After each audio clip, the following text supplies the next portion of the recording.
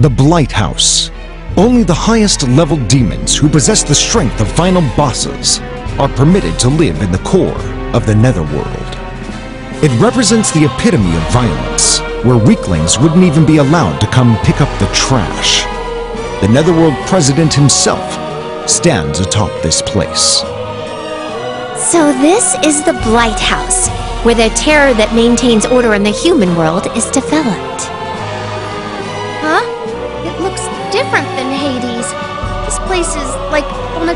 Totally different level.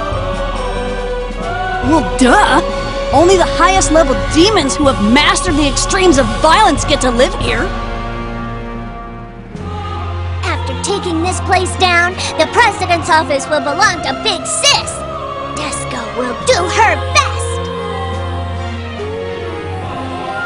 Well, my lord, we shall now open the gates to the end of the Netherworld and begin our reform.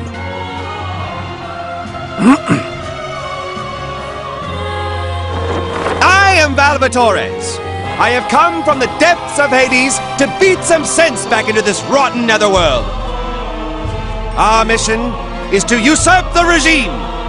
I don't expect you to give in very easily. Go ahead and resist all you want. I shall pin each and every one of you down and teach you a lesson the Hades way. Now, tremble in fear! Oh, they're rather obedient, aren't they? Really are trembling. This is more than just trembling. This is like. Desco senses a tremendous amount of murderous intent. The rumbling is coming from the ground. It's the echo of the violence across the land. The destructive footsteps of 600,000 demons!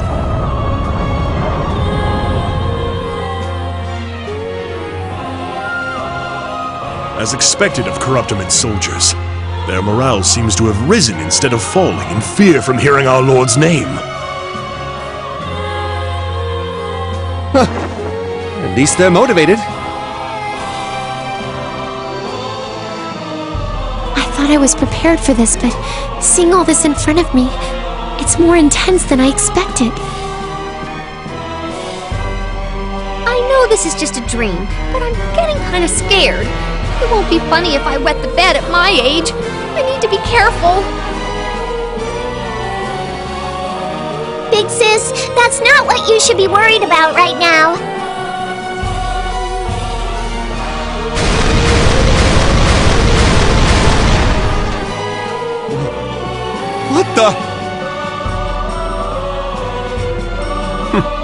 Right on time. Prinny rule number six. You shall never make your master wait. Barely made it.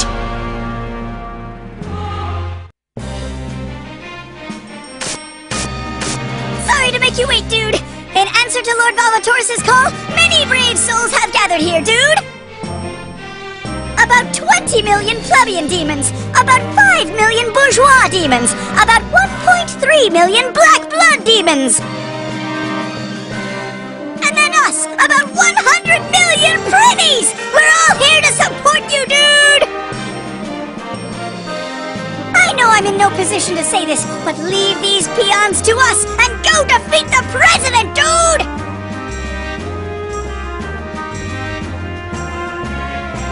Guys. Are you sure that's an accurate head count? Not at all, sir! I was kind of exaggerating, dude. Nevertheless, you seem to have an amazing amount of supporters here. This was bound to happen for an eminent leader, but This isn't necessary. Using numbers against numbers. This is like war. You shouldn't chastise them, my lord. They have all gathered here with the dream of taking over the Corrupternment with you. Then let's hurry so that we can end this madness. We have no reason to be scared, now that we've got the same amount of force on our side.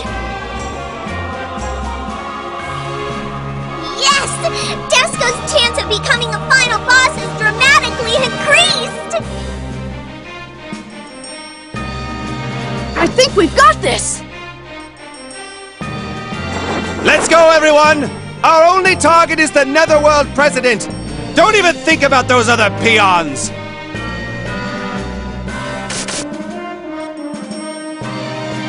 Thus began the 62nd Netherworld presidential election.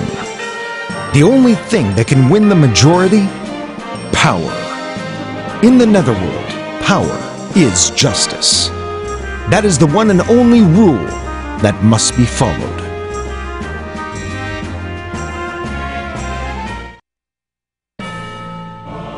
Huh? That was easier than I thought. I didn't know how tough they would be, just judging by how scared Emizel was. They totally weren't worth it. This just goes to show how close we are to the president's office. Desco is climbing the ladder to the position of final boss very quickly. Desco is almost there, big sis. Once Desco becomes a final boss, Don't flatter yourselves, fools! Those were just peons! They're ants compared to father!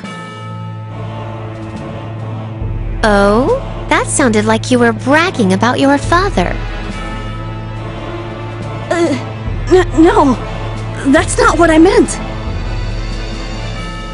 What do you make of this, Fenrich? They weren't peons. They were the President's elite forces.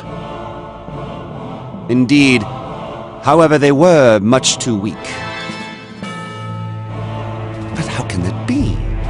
They didn't look like they were going easy on us. Is the condition of the Netherworld really so dire?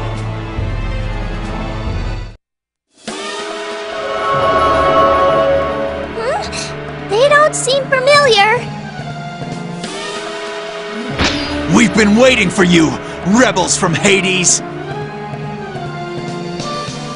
How outrageous of you, a mere Prinny instructor, to oppose the President! Your actions call for no punishment short of your death. All of you shall be executed right here. Ooh, these guys seem different than the others. Hell yeah, they do!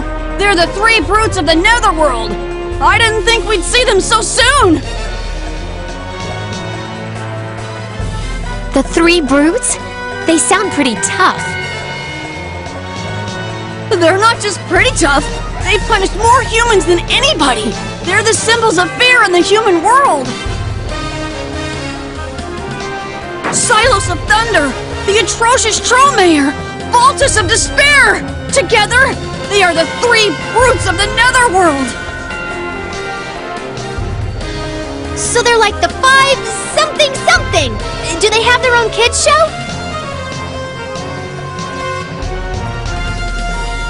No way! They aren't anything like that! Miss Fuka, is it? You seem rather calm in the face of such strong enemies. Just call me Fuka. And what's to be scared of? Strong or not, this is all just happening in my dream. Pardon me? In your dream? Big Sis still hasn't accepted that she died and believes that everything that's happening is part of her dream.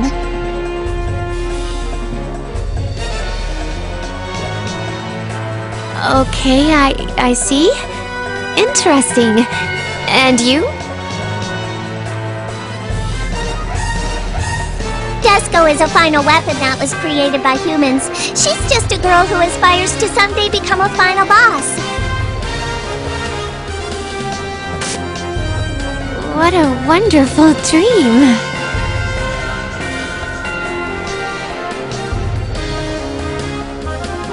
Oh, Lady Archangel, I may have chosen the wrong kind of people to align myself with.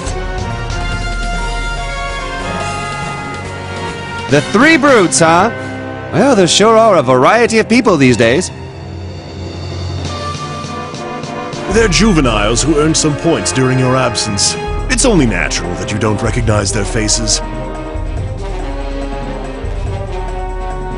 However, I can't accept the fact that these whelps are arrogantly strutting around in your presence, my lord. Hmm. Then we shall teach those youngsters a lesson on how to fight a real battle!